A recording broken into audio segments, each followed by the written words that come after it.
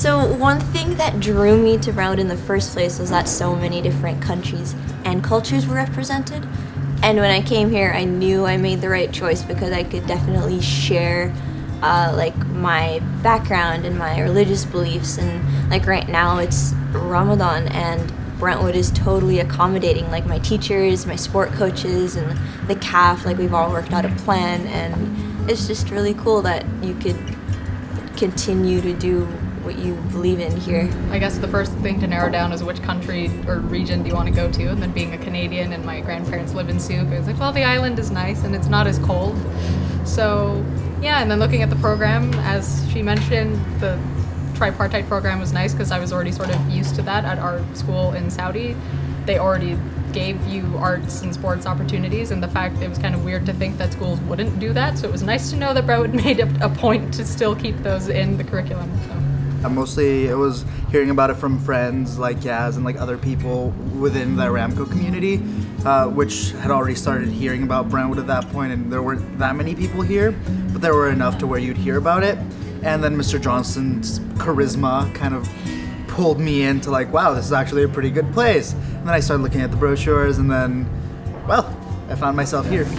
Um, I'd recommend Brentwood to anyone from the Gulf states because it truly allowed me to be the person I wanted to be. Allowed me to explore uh, different aspects of myself that I wasn't able to do elsewhere. Like I'm able to do so many different things, and like it's totally okay here.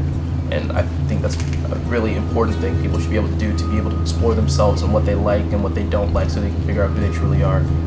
I'd recommend Brentwood to anyone who wanted to learn and learn more about themselves, but specifically to people in the Gulf states and the Middle East, like it's no different, but for the specific concerns of the region, like the travel, it's totally worth it, and you're gonna have to leave the nest at some point, probably. So it's nice to start to get more comfortable with that early on, and it does give you a bit of a an advantage almost ahead of the people who are leaving home for the first time in university. You've already done that. That's one less thing to worry about. And it's part of the culture, like Isaac said. This is a boarding school, which was another reason that I really like Brentwood. It's not unusual to have people coming from all over the place who have to deal with jet lag and maybe won't want to go to class because they're, you know, sleeping still.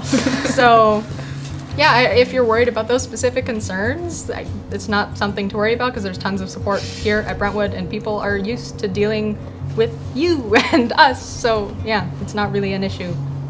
I recommend Brentwood to someone coming from the Middle East because I think it's just a really good gateway coming from somewhere that's more subdued into like a more uh, liberal society, and it's a really good gateway. Like David said, makes you more independent. So when you go to university, kind of looking back as a grade 12 on the entirety of my journey at Brentwood, I know I've garnered skills that I wouldn't have been able to garner back at home.